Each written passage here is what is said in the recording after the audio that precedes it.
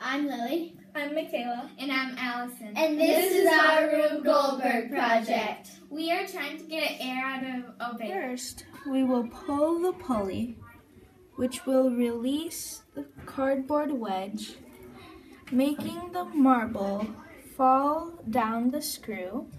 And the marble will hit the lever, which will make the car hit all the dominoes. The dominoes will then hit the books, which will hit these two blocks, which will hit the soccer ball, which will hit the bounce on the chair, and the chair will hit the bag and let the air out.